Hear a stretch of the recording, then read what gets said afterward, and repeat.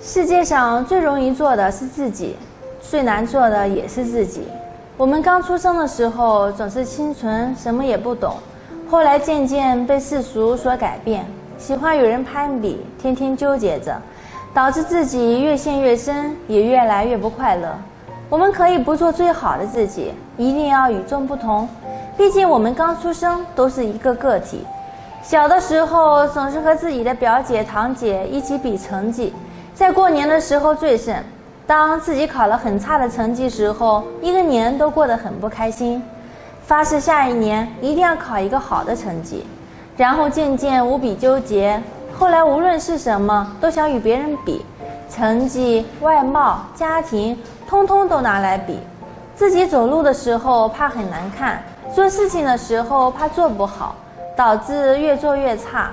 怕别人说自己的缺点，导致越来越自卑。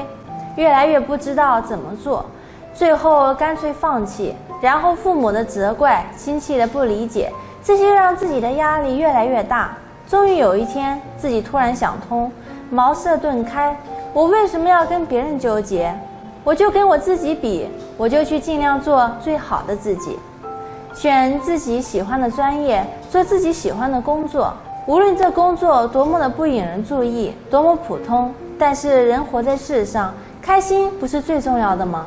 我为什么要活在别人的眼光底下？他们愿意说什么就说什么。也许我不聪明不漂亮，但是这么多年我还能依然保持初心，这才是最重要的。